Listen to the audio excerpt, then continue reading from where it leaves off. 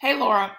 Um, if you can show this to your teacher, I think this will be helpful. I'm not sure what's causing that error, but here's what should work. So in Edpuzzle, if he or she, um, whatever the activity is, they go to share, and then it tells them here, embed this video on your LMS. You can change the size. If he copies that link and then goes back to Canvas, adds an assignment, and I would probably say view the following activity.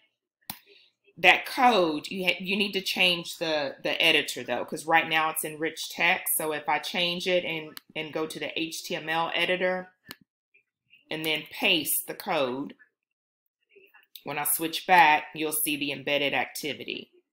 So, oh, I got a bunch of extra white space here. Okay, so that there, there's the activity um, that the kids will need. Now, because it's actually done via Ed Puzzle, and then like I don't know if he has classes set up. I don't know what's going on on that side.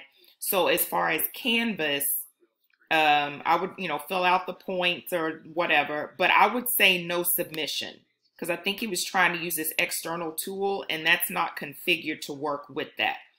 So there's nothing that they're technically going to turn in on Canvas because really it's going to be done via Edpuzzle, if that makes any sense.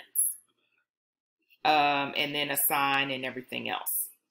Okay, so I hope this is helpful. And he can, whoever it is, can email me too. I mean, that's fine. But I think this will work as far as getting the activity into Canvas.